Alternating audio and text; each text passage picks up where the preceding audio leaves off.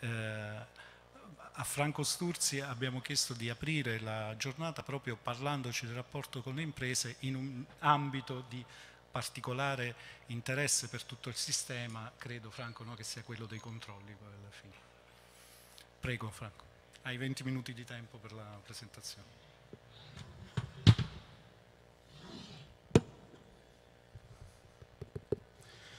Bene.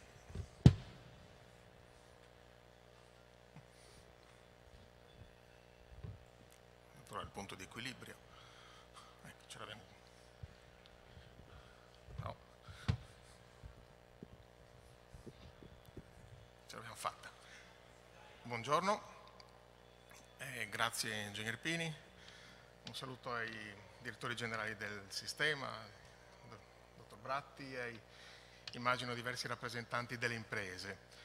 Um, il titolo che mi è stato assegnato, primo intervento anche, quindi sento un po' la responsabilità di far partire il convegno, è Sistema Nazionale per la Protezione dell'Ambiente in rapporto con le imprese.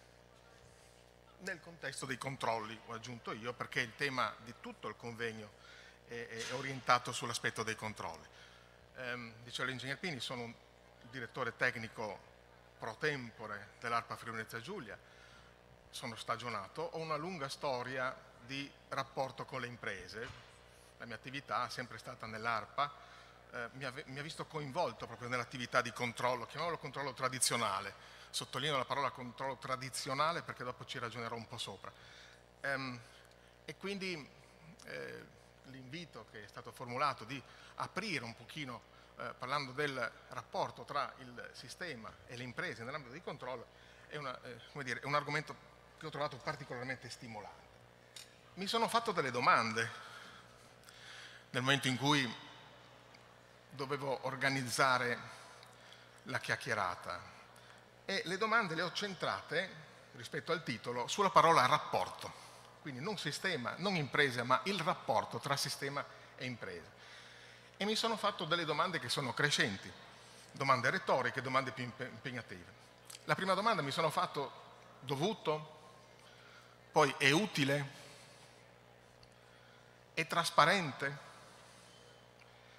il rapporto tra sistema e con le imprese nell'ambito, nel contesto dei controlli, genera processi di miglioramento e rispetto a cosa? Rispetto alla norma? All'impresa? Vedete che cito all'impresa rispetto a un miglioramento ambientale o anche non solo ambientale.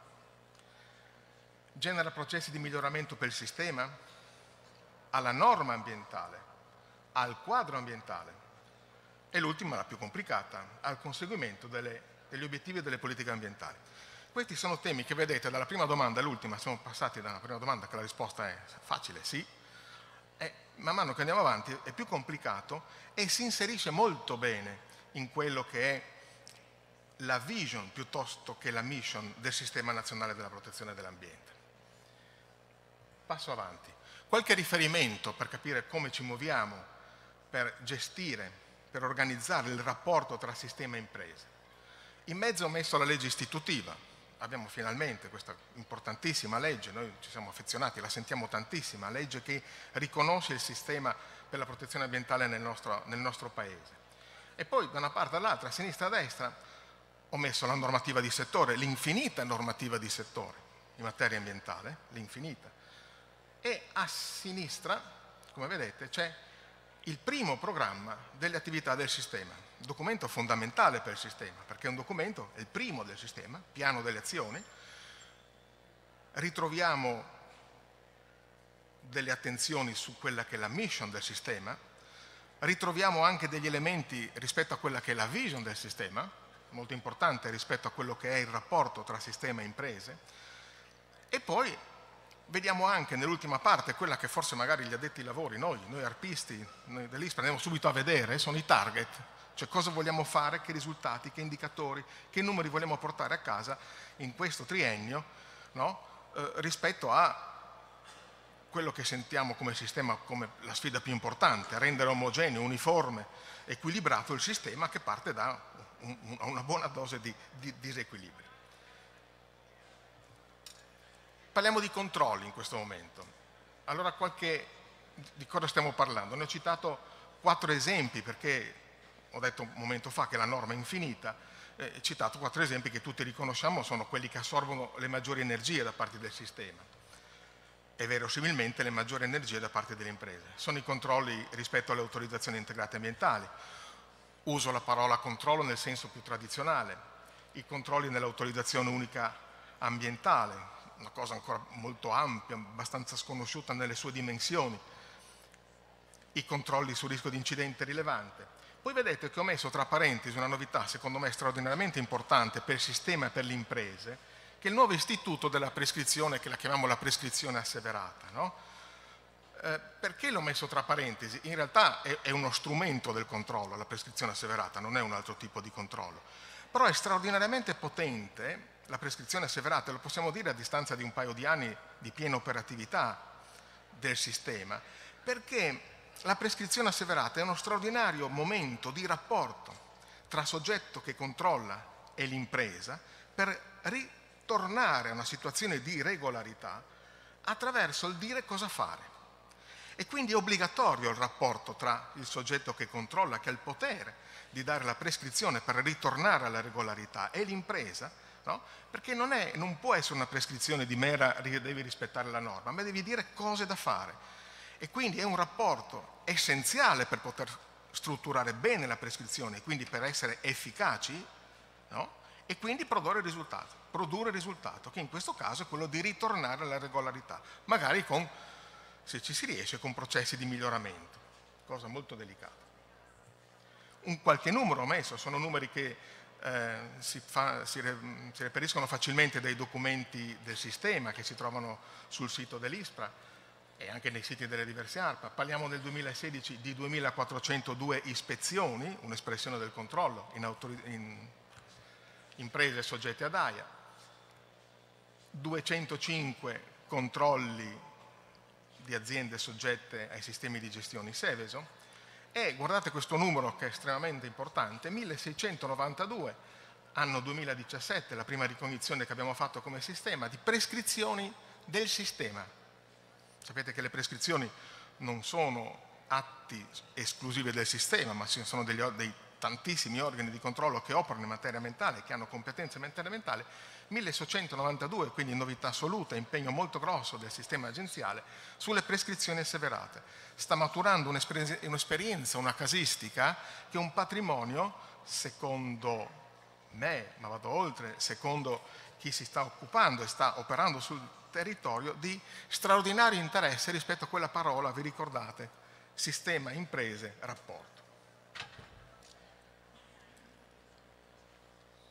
Qui ho cercato di eh, inserire come spunti, ci sarà occasione per il dibattito nel tavolo dedicato al pomeriggio su questi argomenti, quali altre attività supportano, favoriscono, consentono di migliorare i controlli nella logica di rapporto.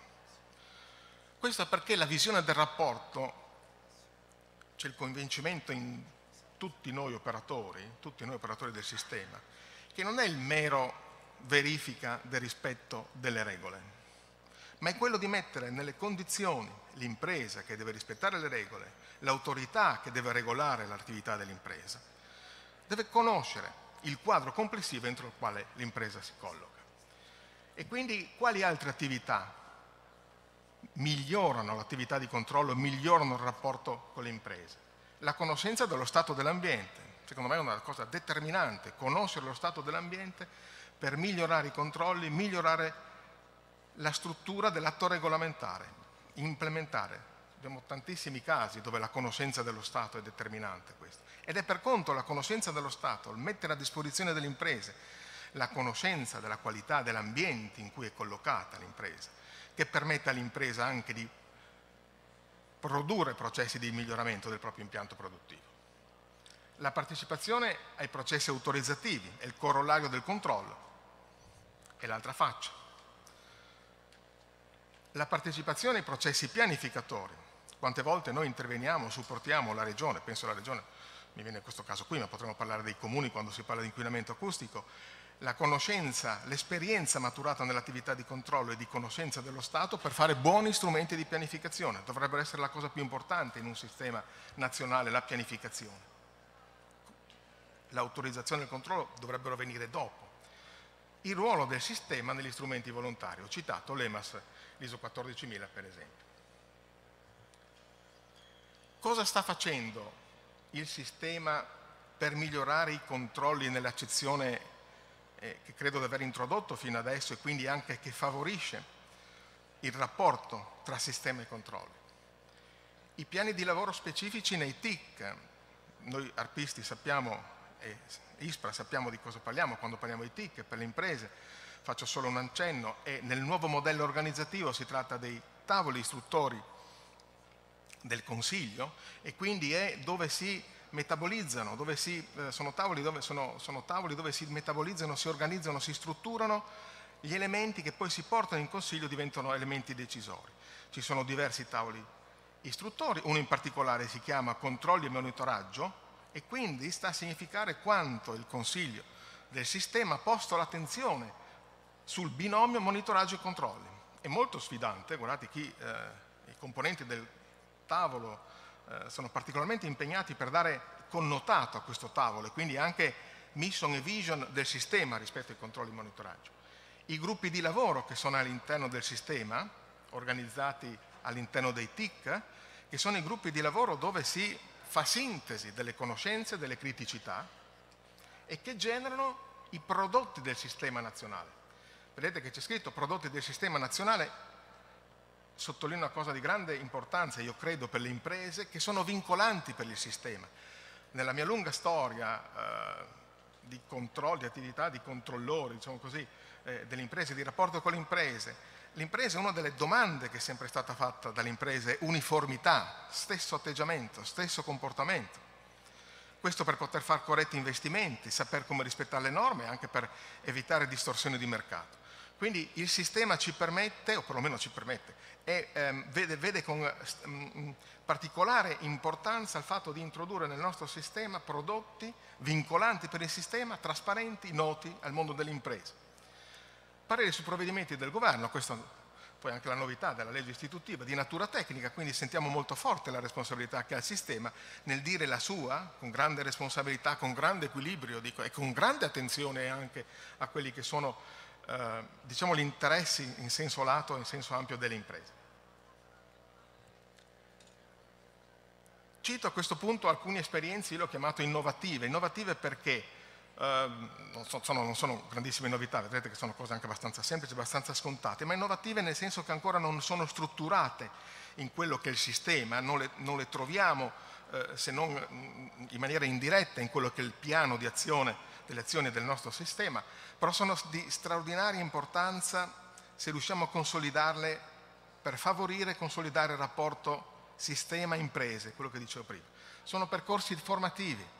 Guardate, ho scritto per e con le imprese.